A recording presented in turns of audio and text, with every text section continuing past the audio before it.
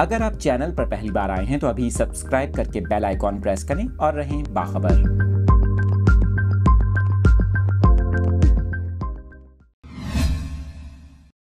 Updates आपके साथ share कर रहे हैं। इस अहम खबर से मुतालिक आपको बताएँ कि माहरीन फल्कियात ने अगस्त के महीने के हवाले से अहम पेश गोई कर दी। माह अगस्त में आसमान पर इंतहाई दिलफरेब नज़ारा किया जा सकेगा। आपको बताएँ कि माहरीन फल्कियात के मुताबिक अगस्त के महीने में दो सुपर मून होंगे, जिस दौरान चाँद ज़मीन के इंतहाई करीब होगा। आपको बताएँ सुपर मून का पहला नज़ारा मंगल यकम अगस्त को होगा। यकम अगस्त को चाँद ज़मीन से सिर्फ़ तीन लाख सत्तावन हज़ार पाँच सौ तीस किलोमीटर के फासले पर होगा, जिसकी वजह से चाँद मामूल से ज़्यादा बड़ा और वाज नज़र आएगा। आपको बताएँ कि सिर्फ़ यही नहीं, बल्कि तीस अगस्त को चाँद ज़मीन के और भी करीब आ जाएगा। इस दिन चाँद और ज़मीन के माबेन फासला सिर्फ़ तीन लाख सत्तावन हज़ार तीन सौ चवालीस किलोमीटर होगा। आपको बताएँ, माहरीन की जानब से इसे ब्लू मून का नाम दिया गया है। पाकिस्तान में सुपर मून का नज़ारा इससे कबल दो हज़ार अट्ठारह में देखने को मिला था।